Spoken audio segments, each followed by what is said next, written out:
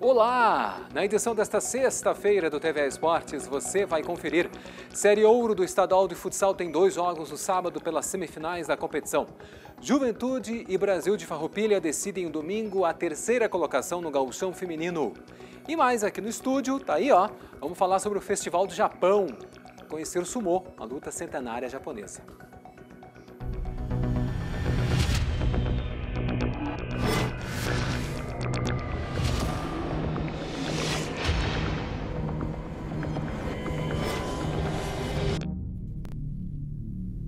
Bom dia, muito bem. Gauchão Feminino. As datas das finais entre Grêmio e Internacional ainda não são conhecidas, mas a bola vai rolar neste final de semana e é o duelo serrano pelo título de melhor time do interior.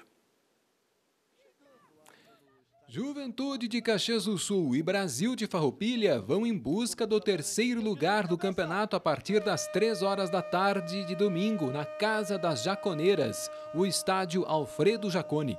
Ao contrário da final, a disputa pelo título do interior será realizada em jogo único. No início de outubro, as rivais da Serra se enfrentaram na terceira rodada da segunda fase, com vitória das Alviverdes por 2 a 1. Nas semifinais, as gurias do Ju e as rubro-verdes foram eliminadas pela dupla Grenal e agora querem encerrar a participação no gauchão feminino com um triunfo na última partida do ano.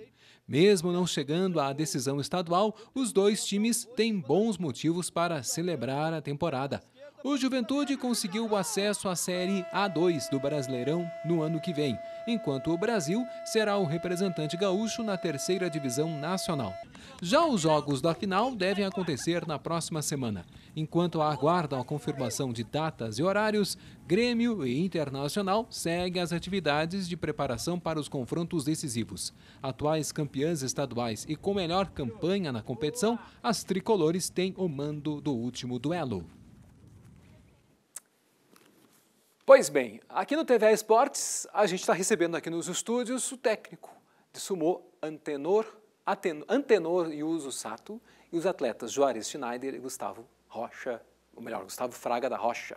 E tem Festival do Japão acontecendo nesse final de semana na região metropolitana. Bom dia para vocês, tudo certo? Bom dia. Muito obrigado. Bom dia. Tudo bem. Olha que legal, hein? Maravilha. Bom, vamos falar sobre o sumô primeiramente. Tem muita programação, tem muita atividade, tem muita cultura, tem culinária do festival. Mas tem esporte, modalidades esportivas, entre elas o sumô, né? Tudo bem? Tudo certo, Atano? Bom dia, tudo bem. Então, na realidade, o décimo festival, ou desde o primeiro até o décimo festival, sempre priorizou, além das, dos, da culinária, da cultura, o esporte japonês. Então, Exatamente. Então, o, o sumo é uma delas e estamos acompanhando desde o primeiro evento até o décimo festival que iniciará hoje às 14 horas.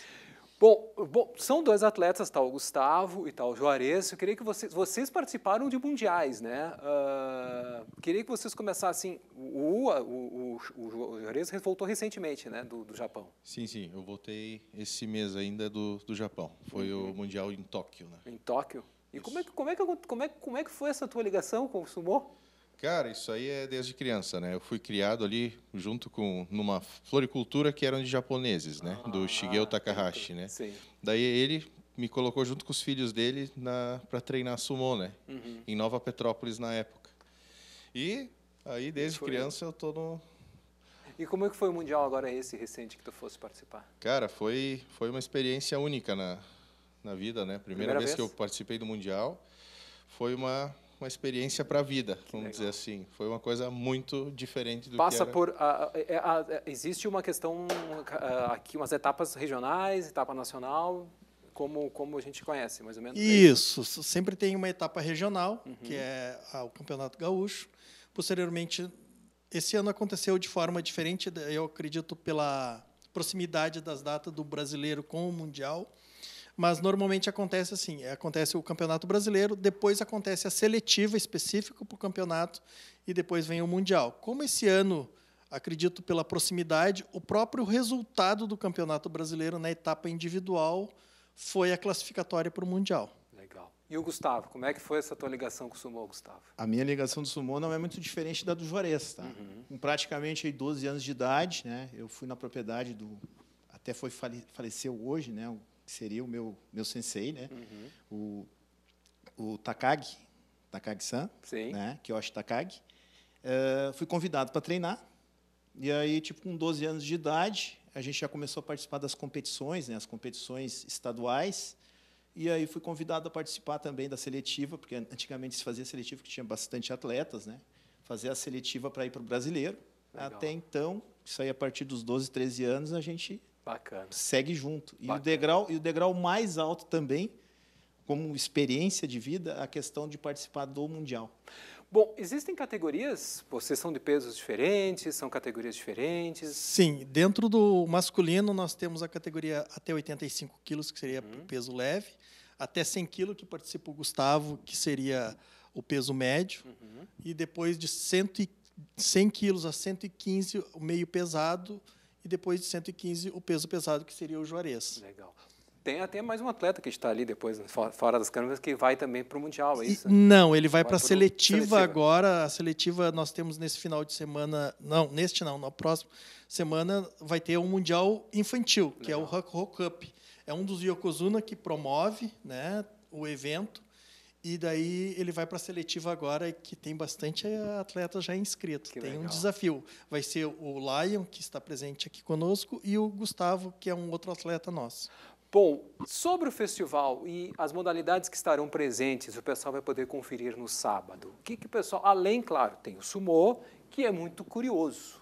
É uma modalidade que muitas vezes não tem muita tradição, o pessoal conhece pouco, é mais próximo das, né, das, das, colônias japonesas, ali na região do, da Serra, Ifoti principalmente, mas, enfim, mas a gente está vendo aí que não são muito, muitas vezes não são necessariamente descendentes japoneses que participam ou que vão competir. Mas quem pode participar? O que, que vai acontecer não, no festival? Pode na, falar. Na realidade, assim, o que, que acontece? vamos falar especificamente do sumo. O sumô, vamos começar pelo festival. Sim. Nós vamos ter uma oficina, então, uh, durante amanhã, 14 horas até as 16 horas, uma oficina. Uhum. Depois eles vão fazer uma apresentação no palco e depois vai ter as oficinas também no domingo, uhum. né? Porque nós temos que distribuir os espaços entre os outros esportes, claro. kendo, judô, karatê, né? Hoje, inclusive o taekwondo. Então nós estamos dividindo o espaço.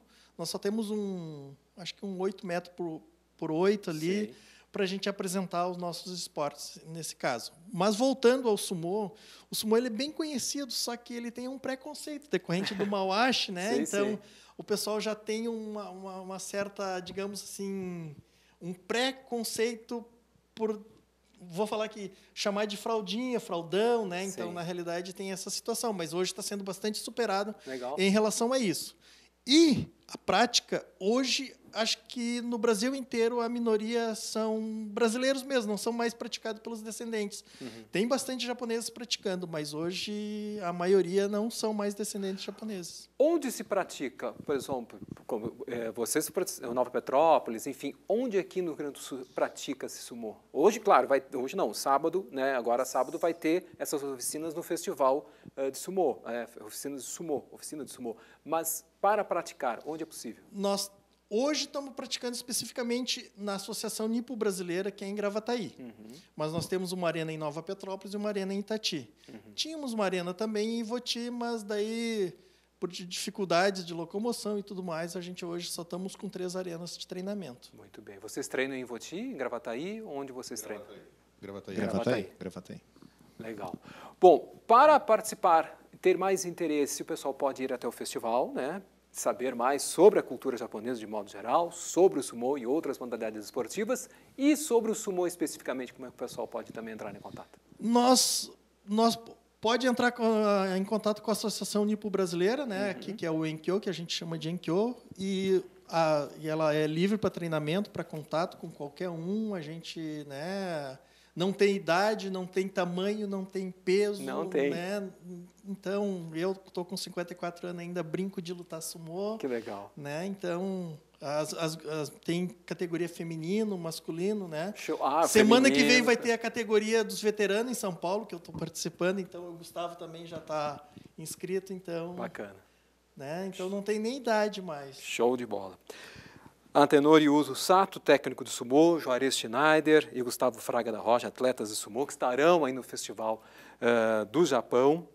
uh, neste final de semana em Esteio. Muito obrigado, tá bom? Boa sorte e bons eventos. Tá bom? Obrigado mais obrigado. uma vez. Muito obrigado. Obrigado. obrigado. Valeu. Vamos agora para as quadras do NBB. O Caxias Basquete recebe nesta noite a equipe do São José e quer a quarta vitória consecutiva na competição. O confronto está marcado para as 8 horas no ginásio do SESI, em Caxias do Sul. Depois de vencer o Cerrado e o Brasília como visitante e o Mogi em casa, o time quer repetir o desempenho dos últimos jogos, mas evitar a queda de rendimento em alguns momentos do confronto contra os paulistas. Dos quatro jogos já disputados no ginásio do SESI, o Caxias Basquete perdeu para o União Corinthians e Vasco e ganhou do Botafogo e Mogi. A campanha como mandante é fundamental para melhorar a posição na tabela de classificação. O clube ocupa a sétima posição no momento. Hoje tem final da Copa dos Pampas 2023, promovida pela Liga Gaúcha de Futsal. A AGE e o Horizontina se enfrentam a partir das 8 da noite no ginásio municipal de Guaporé. No primeiro jogo, em Horizontina, 3 a 1 para os donos da casa. A AGE tenta sua primeira taça na competição, já o Horizontina vai em busca aí do bicampeonato. E tem jogos pelas semifinais da Série Ouro masculina e feminina da Federação Gaúcha de Futebol de Salão. Em Carazinho, às 8 da noite, Iesco e São José de Cachoeira do Sul fazem a partida de volta. No primeiro jogo, vitória da Iesco por 4 a 2. No mesmo dia, um pouco mais tarde, 9h15 da noite, em Bento Gonçalves, tem BGF e Ser Santiago para o primeiro jogo da semifinal. Também na cidade da Serra Gaúcha, porém pela Série Ouro Feminino, serão quatro jogos da semifinal. As partidas acontecem no domingo, a partir das duas da tarde, no ginásio CT Imigrante. Celemaster contra Fax Sojipa e Mauge versus Imigrante. Vamos conferir aí mais destaques do final de semana na agenda esportiva. Este sábado é dia de decisão na Super Turismo Gaúcha. É a quinta e derradeira etapa da competição que ocorre no Autódromo de Tarumã, em Viamão. Na pista, os pilotos das categorias GT, GTL, TS, T1, T2, TR e TL. A largada para as categorias T1, T2, TR e TL começam a partir da 1h30 da tarde e GT, GTL e TS largam às 3h30 da tarde. Transmissão ao vivo pela Curva do S.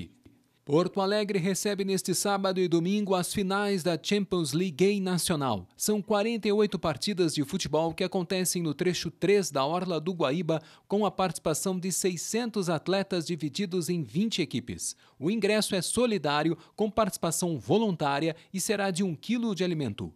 E muito voo livre vai rolar neste sábado e domingo em Igrejinha. O Parque Alto da Pedra sediará a etapa do Campeonato Gaúcho de Parapente. As decolagens acontecem no fim da manhã, mas podem variar segundo a condição meteorológica. Em caso de chuva, as provas do dia serão canceladas. O maior campeonato de futebol entre favelas do mundo termina neste sábado. As finais da Taça das Favelas Rio Grande do Sul acontecem a partir das duas da tarde no Sesc da Protásio Alves, em Porto Alegre. A final do feminino será entre Boleiras FC de Ijuí versus as Serranas de Porto Alegre. No masculino, River da Estalagem de Viamão contra GE Municipal de Montenegro. Os ingressos estão à venda na plataforma Simpla. Vamos ficando por aqui. TVA Esportes retorna amanhã com a edição de sábado. Até lá, tchau, tchau. Ao meio-dia, hein?